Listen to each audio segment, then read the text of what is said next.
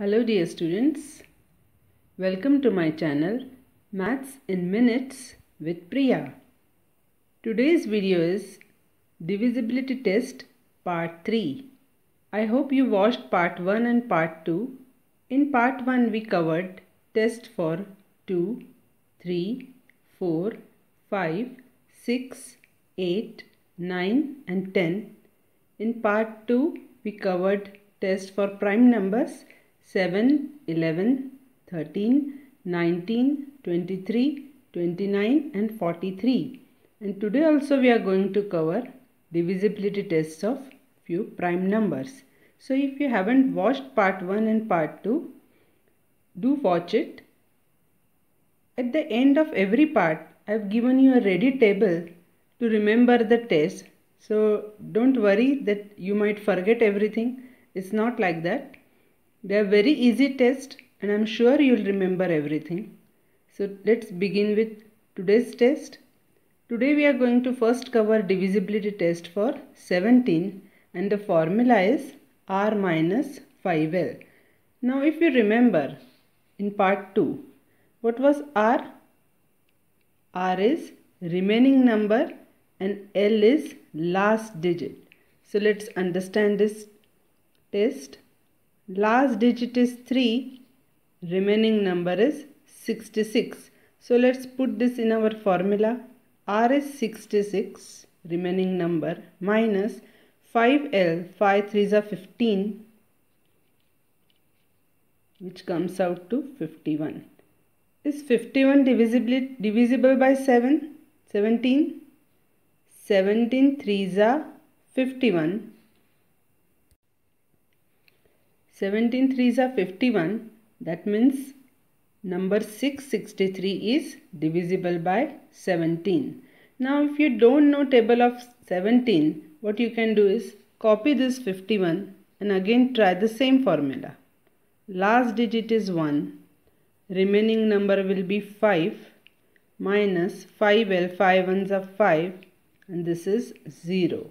When the answer is 0, that means this number is divisible by number 17. Let's try one more number. 41,106. Last digit is 6. Remaining number is 4110 minus 5L. 5L is 5 6 30 which comes out to 4080 again I'm going to copy it here. 0 is the last digit.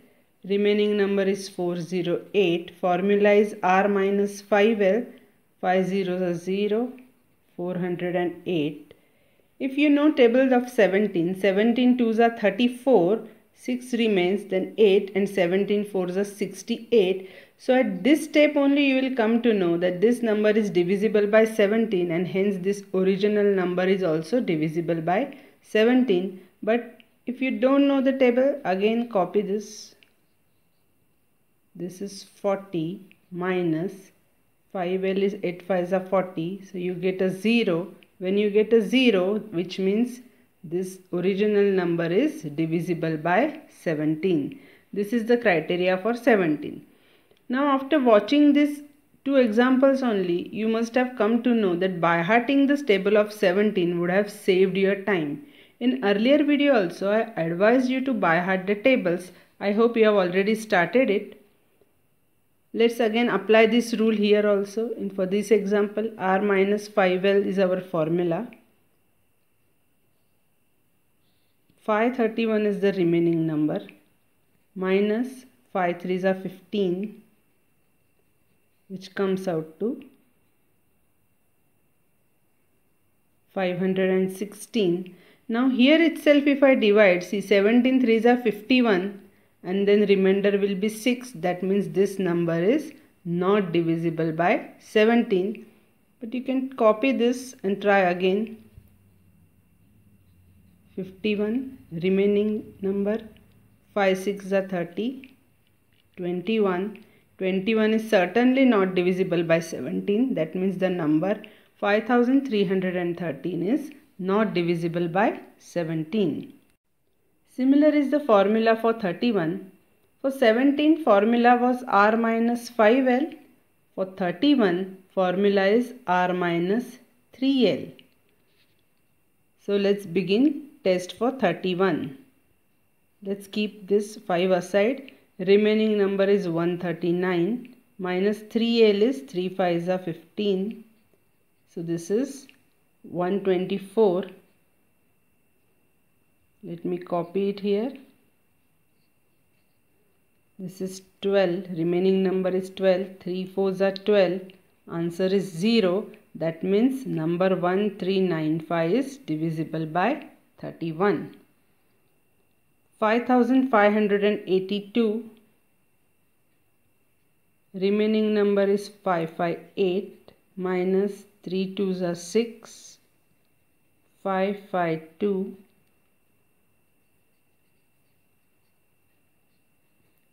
remaining number is 55 3 2s are 6 which is 49 49 is definitely not divisible by 31 that means 5582 is not divisible by 31 so if you see for number 17 it was r minus 5l for number 31 it was r minus 3l you can go on doing these steps until you get a 0 if you get a 0 at the end that means the number is divisible by 17 here and divisible by 31 here. But it's not that you'll always get a 0 at the end step. Sometimes you may not get a 0 but you will get a multiple of that particular number. Let's see how. For test of 37 formula is r minus 11l number is 2072 last digit is 2 remaining number is 207 11 L is 11 to the 22 which is 185 I'm copying it here 185 18 is the remaining number 11 5s are 55 so this is minus 37 see we didn't get 0 here but we went below 0 and we got minus 37 now 37 is definitely a factor of minus 37. That means this number is divisible by 37. See in earlier parts what we used to see that this n digit is always multiple of this or this is always factor of this. So similarly here also you will either get a 0 or a multiple of this number. It is same as part 2. Not much difference. Now let's try divisibility test for number 41 and now the formula is r minus 4l. This is the last digit. Remaining part is 2, 6, 7, 3.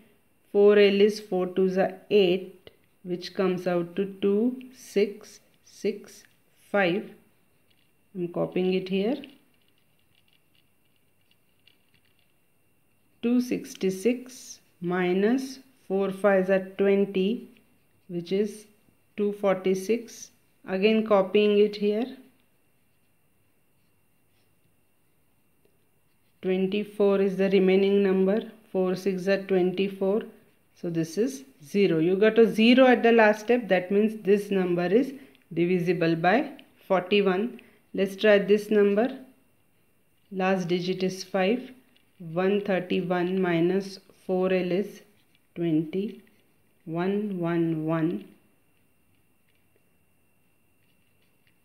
so 11 minus 4 that is 7 7 is not divisible by 41 so number 1315 is not divisible by 41 now for 47 test is r minus 14l for 41 it was r minus 4l. For 47 it is r minus 14l. That means see again by hearting table is important. You must know table of 14.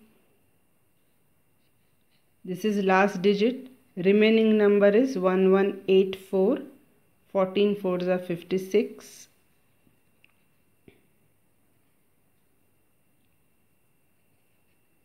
1 1 2 8 I'm going to copy it here. 1 1 2 is the remaining number. And now 14L means 14 8 is again 112 so you get 0 that means this number is divisible by 47 here is the ready table what we learned in today's tutorial. For 17 it is r minus 5l for 31 r minus 3l for 37 r minus 11l for 41 r minus 4l and for 47 r minus 14l. Now look at this two sets of formulae. These are the formulae for number 7, 13, 19, 23, 29 and 43. These are the formulae for number 17, 31, 37, 41 and 47 which we did today. Now here if you observe, here all are minuses and here all were pluses. So when we subtract something from the remaining number, at the end step we may reach to 0 or we may even go below 0 that we saw today. But when we add something to r, that is when we add something to the remaining number, we will never reach to 0. We will reach to some multiples of this particular numbers. Is the difference very clear between these two? That's why I made part 2 different and part 3 different. In part 2 I covered all pluses and in part 3 I covered all minuses. I hope you watched all three parts and already started by hearting the tables. In next video we are going to start with factorization where again we are going to use all these criteria so it will be again a revision for you and then if you are ready with your multiplication tables as well as this formulae then you will do factorization very fast and after that we will also cover LCM HCF and one more very important concept of prime factors which can also be used for different divisibility criteria. So see you then. Till then take care of your health. Be happy. Bye for today.